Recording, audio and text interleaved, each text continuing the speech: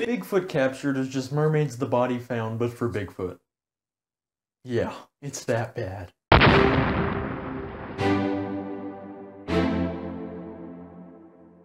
Bigfoot Captured aired on the History Channel on November 9th. So this documentary is basically an idea of what would happen if Bigfoot was captured.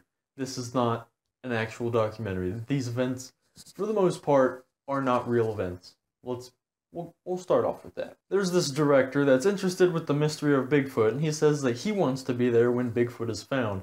And he happens to know a friend that saw Bigfoot in the Sierra Nevada mountains, and he wants to go interview him. So he and his friend conduct a night investigation where they are surrounded by a group of Bigfoots on both sides. They get so freaked out to where they just leave. That's it, they just leave. So then the director picks up on this new trip with a new team of Bigfooters that are out to try to catch Bigfoot. Yeah.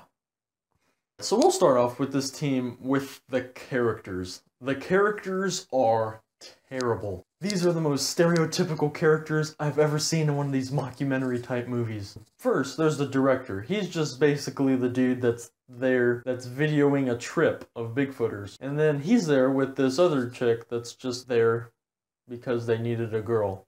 And then there's the leader of the expedition. He is just your basic military type monster hunter. That's basically just his character. He's there because they needed a cool dude. Then there's the believer. The believer is the stereotypical nerd that thinks everything in the woods is a Bigfoot, based on my calculations type of guy. Last, but definitely absolutely least, is the skeptic. This is the worst character I have ever seen on any history type channel anything. he's basically just there to tell everybody that they're wrong and he's right and that Bigfoot is definitely not real no matter what anybody says. This team, they camp for the night, and then in the middle of the night, they start hearing these strange whoops and knocks off in the distance. So then everybody wakes up, they flip on their flashlights, and the Bigfooter starts walking up to the woods and starts screaming, Whoa! The Bigfoot eventually goes away. So after the night's over and it's the next day, the team goes and checks some of the trail cameras that they had up in the area, and one of the trail cameras shakes around and it gets knocked over onto the ground. Typical.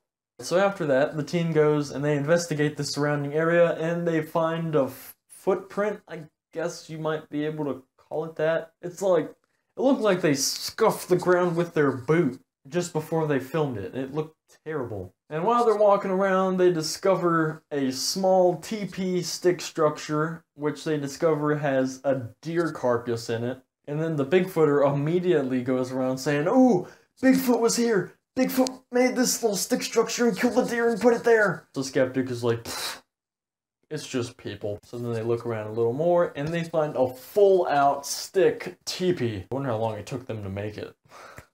So then the Bigfooter just goes around saying it has to be Bigfoot, being completely non-scientific, because apparently that is how society views Bigfooters. That night, they set up camp, and in the middle of the night, they start hearing noises around their camp.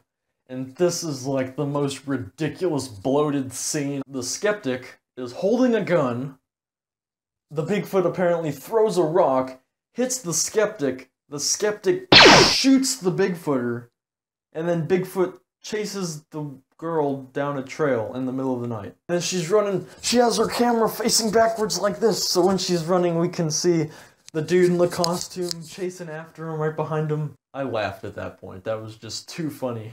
So the next day after Bigfoot attacked their camp, the skeptic goes around saying, Oh dude, we gotta get out of here, there's people throwing catapulted rocks at us and chasing us through the woods. Moving on. So then, they think the best interest to do is build a trap. So this is when history uses that cage from Bigfoot Bounty, and they use it to try and catch Bigfoot in this mockumentary. Well played, History Channel. So the trap is set, they're waiting there in the middle of the night, and in the middle of the night, they hear these noises coming from over by the cage.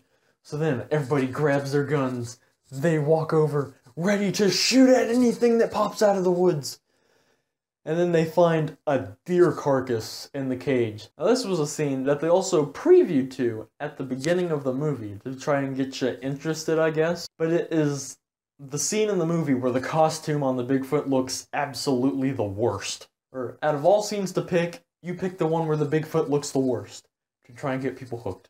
By this point, I'm just all the way out. I'm just done. So then once the Bigfoot pops up, they decide to go to commercial so they don't have to explain how they catch the Bigfoot. When it returns from commercial, the Bigfoot is already in the cage somehow. So then the girl takes up close videos to brag on how good they made the costume, even though it wasn't great.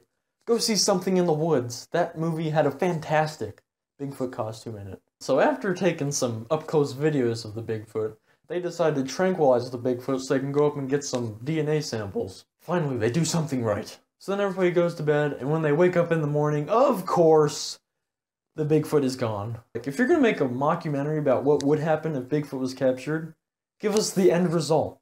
Don't just say, oh, the Bigfoot got away. I guess the lesson in this movie is Bigfoot can't be captured. So everybody gets up in the morning, everybody's screaming, yelling at each other, oh, it's your fault, you left the cage unlocked. Ah! So basically, that whole story was a mess. But surprisingly, there were aspects of this mockumentary that I actually enjoyed. First and foremost, they brought in Dr. Jeff Meldrum from Idaho State University. They show us what he's up to, and he is working on a 3D skeleton of what they think a Bigfoot skeleton would look like based on their best hypotheses and eyewitness reports. So then they have this huge 8 foot tall Bigfoot skeleton made, which I have to say, that was pretty cool. That was cool to see. They also have the typical information that's in every Bigfoot documentary nowadays. That's why I'm starting to get tired of this new Bigfoot documentaries every single time, repeating the same formula in every documentary. So first, of course, they bring up the Gigantopithecus theory. So this theory states that back when the Bering Strait connected Asia and North America, that perhaps Gigantopithecus moved from Asia across the Bering Strait land bridge and dispersed across North America, and that's what we have Sasquatch. But we'll get into that in another video. But they did bring up a theory that I haven't heard too much from, which was that perhaps Bigfoot is a form of robust Australopithecus.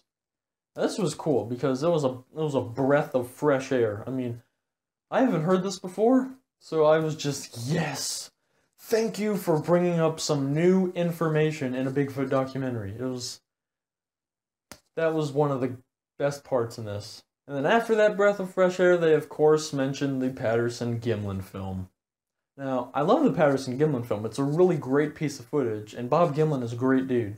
But, I mean, it's in every Bigfoot documentary nowadays. Give us something new, something fresh. They also touch on the Freeman footage, the Mink Creek, Idaho footage, and the Marble Mountain footage. And I haven't seen a whole lot of those videos and documentaries, so that was cool, but they didn't focus on it as much as they did the Patterson Gimlin film, of course. Here's the link to those pieces of footage in the description, so if you want to check out those pieces of footage, just click down below. Another thing that I thought was cool to see was that they brought Kelly Shaw from the Rocky Mountain Sasquatch organization into it. So that was a cool that he was in there. Then it goes on to interview Ben Mills, who was a witness of the Marble Mountain incident. So this was cool to give his perspective of the Marble Mountain footage. Something else this documentary does is take us to the Khumjung Monastery to look at the Yeti scalp. The native Sherpas believe it to be the scalp of a Yeti and they use it for rituals and ceremonies. But this was just proven to be the hide from a goat-like animal in the Himalayas. Alright, so the final piece of good information that they give us is Dr. Jeff Meldrum and Dr. John Bindernagel in British Columbia testing out a new drone technique to look for Bigfoot. And they're trying to use this technique to fly over the terrain with a thermal camera attached to see if they could see any large upright figures moving through the trees. And then it happens. They see an upright figure on the thermal imager. So Jeff and John immediately go to investigate.